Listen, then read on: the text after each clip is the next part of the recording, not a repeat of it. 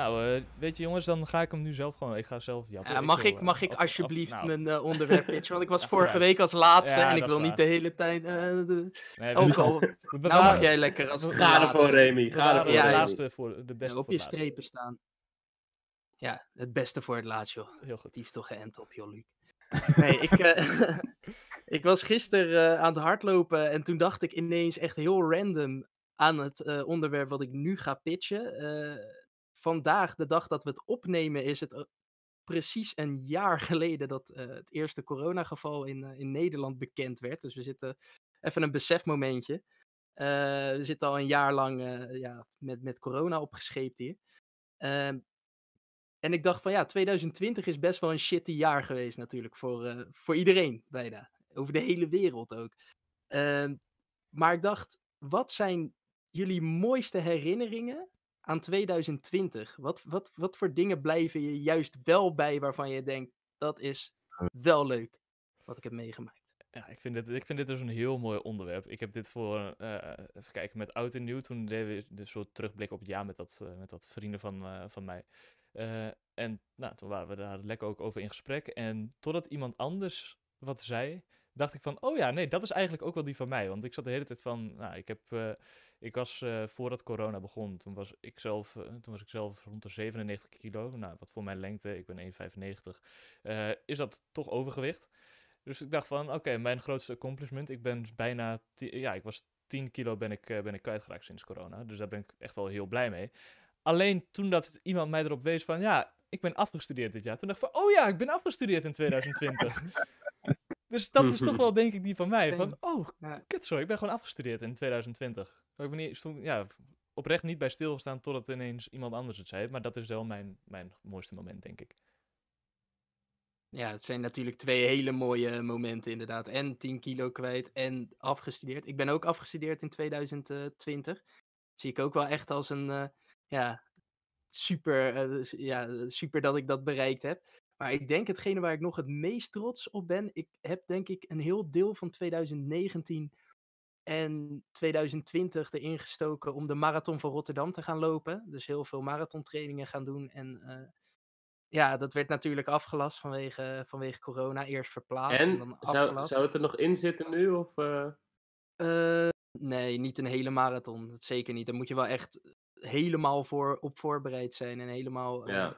Op getraind zijn. Maar toen weet ik, daar hadden ze via zo'n eh, app, eh, zo'n NN Running Day app heette dat, eh, hadden ze een soort alternatief dat je gewoon met een app je eigen routes kon lopen en dan nog wel virtueel een marathon kon lopen. Dus dan hoorde je op je oortje wel gewoon publiek juichen en eh, commentator je toespreken en zo en een startschot en weet ik veel wat. En toen heb ik besloten om in oktober, ehm, want ik ben, ja, ben niet gestopt met hardlopen. Ik ben niet echt weer marathontrainingen blijven doen, maar wel gewoon drie keer vijf kilometer in de week in ieder geval, of meer. Ehm, en toen ben ik een halve marathon gaan lopen in, eh, in oktober. En dat ging eigenlijk echt supergoed. Echt, zelfs, zelfs de spierpijn en de vermoeidheid die dag daarna vielen enigszins eh, eh, mee. Minder dan ik had ver- eh, verwacht. Maar dat is wel echt een, eh, ja, als ik daar nu op terugdenk, denk ik van, ik had nooit mezelf ook maar 10 kilometer zien lopen twee jaar geleden en dan een halve marathon rennen. Ja, en op naar de hele, zodra die gewoon in Rotterdam is. En eh, ja, zodra het Leuk, allemaal man. kan. Iets, eh, iets goeds om eh, op vooruit te kijken in ieder geval. Om naar uit te kijken. Ja, man. Ja, zeggen. zeker. En daarbovenop gewoon met props dat je dat überhaupt, dat je het überhaupt redt. Ja, ik, eh, ik kan het is alleen... Ja, het is sowieso indrukwekkend, ja. Eh, met mijn rokersconditie red ik dat niet. Echt totaal niet. We gaan een keertje met z'n vieren gaan we een keer een marathon lopen. Jongens, maken we er een film Ja. over. Heeft, Sequel van, eh, van de marathon. heeft Als ik, eh, een marathon gelopen? Ook al is het Nee, ik korte? niet. Ik heb één Als keer, ik heb een bal aan mijn aan mijn hand heb, dan eh, loop ik wel mee. Ah, nice. Nee, ik, heb, ren je me er helemaal uit. Ik heb één keer een 5k gedaan en toen ging ik echt al gewoon dood. Echt, ik, ik ging over de finish heen en ik heb echt gewoon, ik ben in de rekken beland gewoon omdat ik helemaal zo kapot was. Deed je mee is aan de grap. befaamde challenge dat je werd uitgedaagd om vijf kilometer te Ja, lopen? ik, eh, we- in Hilversum hebben ze de, eh, de Hilversum City Run, doen ze, doen ze jaarlijks. En nou ja, toen, ik werkte, toen werkte ik nog bij de Jumbo en toen had iemand, eh, nou, dat had, het, had gezegd, omdat de bazen van de Jumbo, die gingen in, eh, in, ik weet niet eens meer waar het precies was. In Afrika ergens, een van de landen, ja, ik kom even niet op het land, maar eh, die gingen daar een volledige marathon lopen, gewoon echt 42 kilometer. En toen zeiden ze van, oké, we gaan dan met de Jumbo, gaan we, wie wil, die kan zich daarvoor inschrijven, meedoen en op die manier ook extra geld inzamelen voor, want het was voor aan, uh, kansarme kinderen. Um, en dan ga je dus ga je de 5 city, 5 kilometer city run doen of de 10 kilometer. Nou, heb ik gezegd, of nee, heb ik niet eens zelf gezegd trouwens. Een maatje van mij had gewoon letterlijk tegen mijn baas gezegd van ja, Luc die doet wel mee. Dus toen zat ik er in, in, huis van, oh Luc, wat, wat, wat goed van jou, lekker bezig. En ik zo, uh, ik wist niet dat ik meedeed. maar uh, fijn, is goed. Gelijk vervolgens hem er ook wel bij genaaid dat hij, uh, dat, hij moest gaan lopen. Want nou, hij had iets van 10 man had hij erbij genaaid. Dus we zijn dat ding aan het lopen. En nou, dat was een beetje een concurrentiestrijdje wel met, met, iemand, met iemand anders. En gewoon, ik denk, 100 meter voor de finish, zie ik vanuit mijn ooghoek, zie ik die persoon. En ik denk van, ik ga nu nog gewoon een eindsprint doen, weet je wel. Ga gewoon inhalen, absoluut. En ik kom, ik, ik ben op het punt dat ik, dat ik de inhaal, zeg maar. En zij kijkt zo, nee, zeker niet. Dus zij sprint mij er nog, ja, ja nou, ik ben daarna zo dood gegaan, jongen. Ik, heb, eh, ik ben daadwerkelijk in de rekken beland en heb me daar vast moeten houden om niet gewoon tegen de grond te gaan. Dat ik echt helemaal kapot was. Jongen. Maar je hebt het wel gedaan. Ik heb het wel je gedaan. bent wel een strijder dan. Ik heb het wel gedaan. Er zijn nog Precies, beelden je, van. je, me, kunt het navertellen, dus wat dat betreft prima. Ja. Exact, je, je leeft nog, daar gaat het om. ja, dat is waar. Je hoeft er niet aan de Ja. baden. Nee, nee, nee, nou, bijna aan de beademing, dat wel, maar... Nee, maar. Haar, wat is jouw mooiste moment van 2020 eh, dan? Nou ja, mijn road to afstuderen, zeg maar, hoort daar ook wel bij. Ik studeerde uiteindelijk af in 2021. Maar, sorry Roland. Ja, ik, ik zit dit te denken. Ik ben nog niet eens afgestudeerd in 2022 volgens mij. Enge burn. Nee, maar eh, dat- ja, dan zal ik heel snel wat anders even noemen. Dan eh, ga ik ook voor eh, het verhuizen van mijn ouders. Uit eh, de Achterhoek naar Duiven.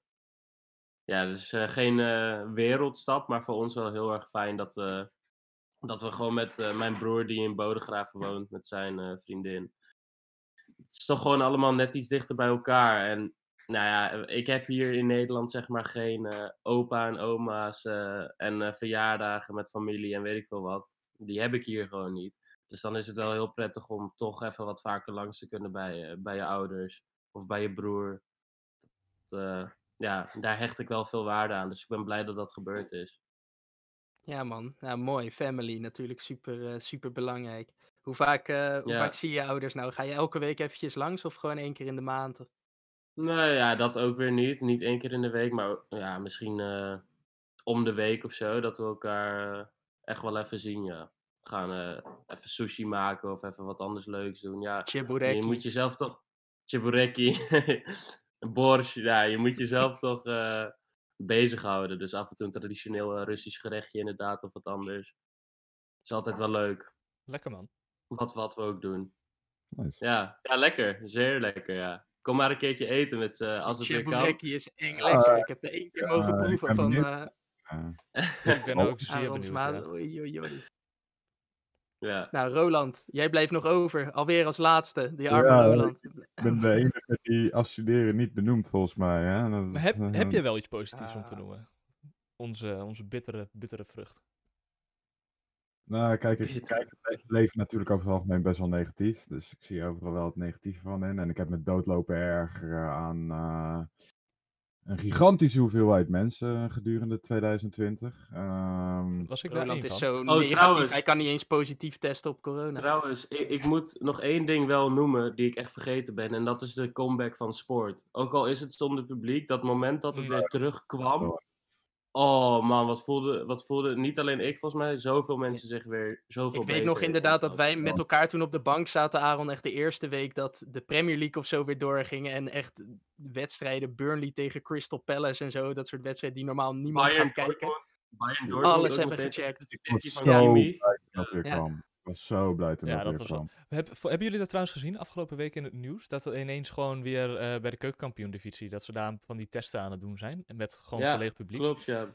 Ik- Mhm, Bij NEC NEC de. Graafschap begonnen ze daarmee. Ja, ik zag, Ja. Dus, ik zag daar beelden van en ik dacht echt van, dit, dit is onwerkelijk. Het, het voelde gewoon als onwerkelijk. Publiek bij voetbal? Wat? Ze, ze hadden het een paar maanden geleden ook bij de Premier League. Zag je ineens bij bepaalde Premier League wedstrijden, zag je ineens publiek Ja, ja, in bepaalde steden inderdaad. zitten. Dat je dacht van, Ja, ik, Wow. vo- ik vond het zo Hey, bizar. Het is niet meer geluid wat eronder gemonteerd is. Het is daadwerkelijk het publiek wat Ja. geluid. En de NBA-bubbel moest, eh, hoort daar voor mij ook wel bij. De Ja. finals, zeg maar, en de playoffs in die hele bubbel in, eh, in Miami. Ja, die heb ik ook echt op de voet gevolgd. Dat was echt heel tof. Nou, maar Wel triest, maar aan de andere kant ook heel tof. er, er is wel daadwerkelijk iets wat ik bereikt heb vorig jaar. Ik ben namelijk Nou, wel 15 kilo afgevallen. Dus ik doe het sowieso al beter dan Luc. Want ja, het is een competitie. Eh, Nee, ik, man. kan, ik, kan geen marathon lopen, dus ik doe het slechter dan Remy. Ja, ik ben Nee, geen 15 kilo afgevallen. Misschien Nee, maar, maar je kan een marathon lopen. Dat, dat kan ik niet met mijn rokersconditie. Nou, het, het was zeg maar, ik, ik dacht toen corona begon en je gaat die eerste lockdown in. En ik dacht van ja, weet je, ik moet nu gewoon thuis zitten en weet ik wat allemaal. Weet je wat, ik ga gewoon een home trainer aanschaffen. Fucking chill. Ik ga ook niet meer naar de appie om zeikhoudende drankjes te kopen of chips te kopen of weet ik het wat allemaal. Puur alleen water, je normale eten en even fietsen prima. Ik ben gewoon 15 kilo kwijtgeraakt in een paar maandjes. En toen kon ik gewoon weer door. Dus dat was echt super chill. Dat, dat, dat was echt mijn eh, hoogtepunt van 2020, zeg maar. Ja, dat is ook wel echt. Ja, ergens, ergens, Roland, vind ik het heel erg jammer dat je zo bent afgevallen. Want ik kan me herinneren dat ik twee jaar geleden met een heleboel SVE'ers, eh ja, journalisten dus, eh, op jouw verjaardag ooit een keer helemaal een mooi op maat gemaakt pak eh, Ja, ja, ja. heb gekocht. Zeker. Ja, En eh, volgens mij is dat niet meer op maat nu. Ja, je bent lekker blurry, maar we horen je goed. ja, Maar Ik wou eh, zeggen inderdaad, daar heb ik ook aan bijgedragen, geloof ik. dat klopt. Nee, maar dat zit ook nog gewoon goed. Het, het, ik moet wel eh, iets laten bijstellen. Maar over het algemeen, kijk, de, de schouderbasis is nog goed. En mijn benen zijn ook niet langer of korter geworden. Nee, het is gewoon... De dat- mouwen? Mouwen nog goed? ja, zit allemaal nog goed. Dan komt omdat mijn schouder Mooi. Nou, is niet heel anders. Het, het Mm. ging echt vol om het buikje wat vooral aan het verdwijnen was. En hier eh, onder, Een onder kaaklijn ontwikkeld. zich. kaaklijn, zeg maar, waar het, het vet verdwenen is. Dus ehm, ja, over het algemeen is alles gewoon wat meer afgetraind en ben ik niet verder heel erg gegroeid of dat soort dingen. Dus dat pak zit Je nog... zou bijna voor eh Schalke of zo kunnen gaan voetballen. Of eh, een ander team waar Kourani heeft gespeeld. eh, ja, het- hij heeft ook voor Dynamo Moskou gespeeld. Ja, weet ik veel, joh. Dynamo Kiev. Ja, nice. De Ja. manschaft. Ik ga trouwens nog wel een kleine, eh, klein dingetje toevoegen. Eh, dat ik ben afgevallen, Ja. ben ik heel blij mee. Dat ik eh, afgestudeerd ben, ben ik ook heel blij mee. Eh, waar ik ook heel blij mee ben, en dat ga ik gewoon even heel kort benoemen. Ik mocht als een van de eerste in Nederland aan de slag met de PlayStation 5 wegens XGN.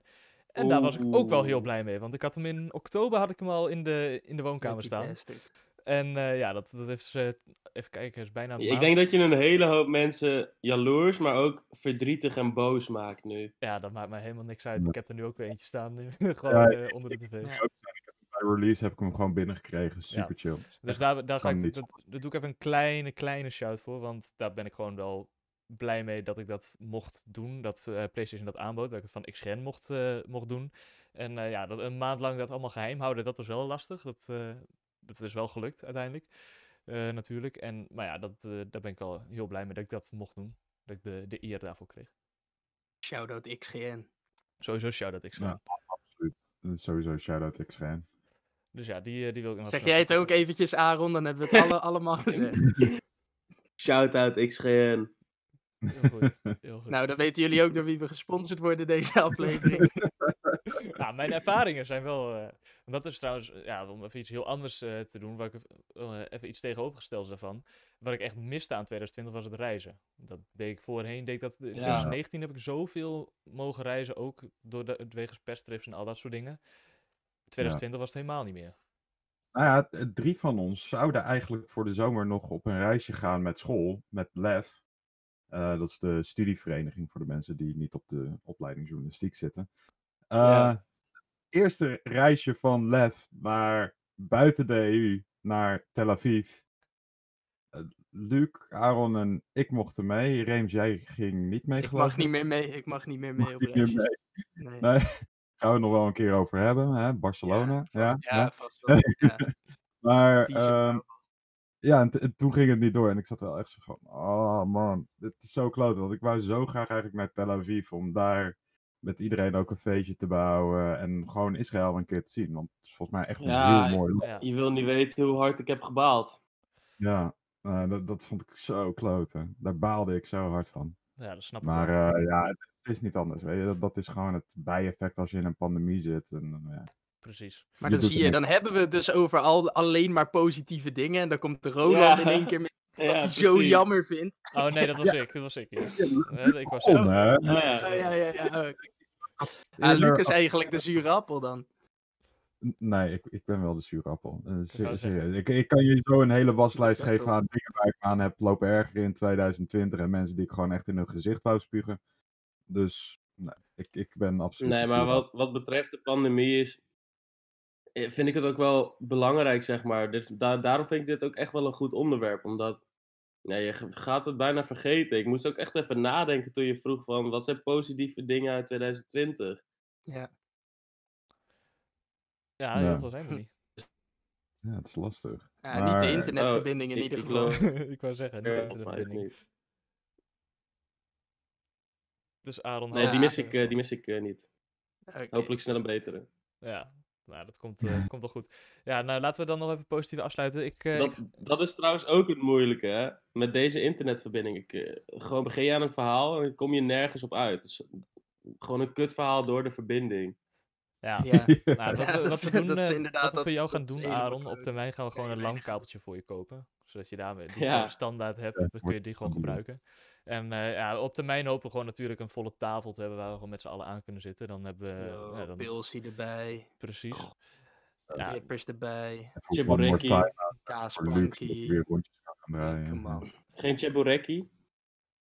Chebureki erbij, ja, vooruit. zonnebloempitten. Of van die dingen uit eh Lviv. Wij zijn een keer met Remy naar Lviv geweest. Kutletti. Met, eh, met nog twee anderen. Echt iedere avond nadat we terugkwamen van het uitgaan. hadden we Gewoon bij zo'n lokaal zaakje. Van dat rundvlees. Echt een soort halve gehaktbal. Gewoon inslaan, hè. Inslaan. Was al bijna ochtend. Inslaan en iedere dag opnieuw. Ja, dat is ongekend. Mooi. Ja. Maar beste voedsel eh, is misschien een leuke voor een andere keer. Ja, dat is voor een andere keer.